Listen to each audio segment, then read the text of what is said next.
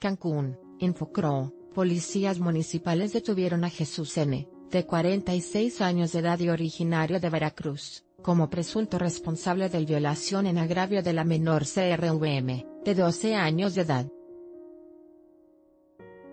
En un comunicado, la Secretaría Municipal de Seguridad Pública informó que el sujeto fue capturado en la Supermanzana 229, Manzana 01.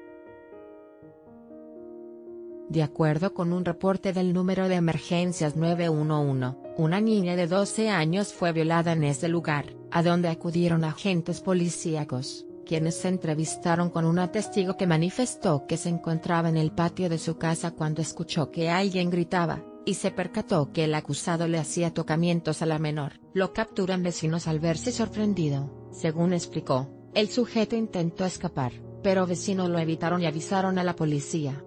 Ante los hechos narrados, el presunto abusador se identificó como Jesús N., fue detenido y puesto a disposición de la autoridad correspondiente.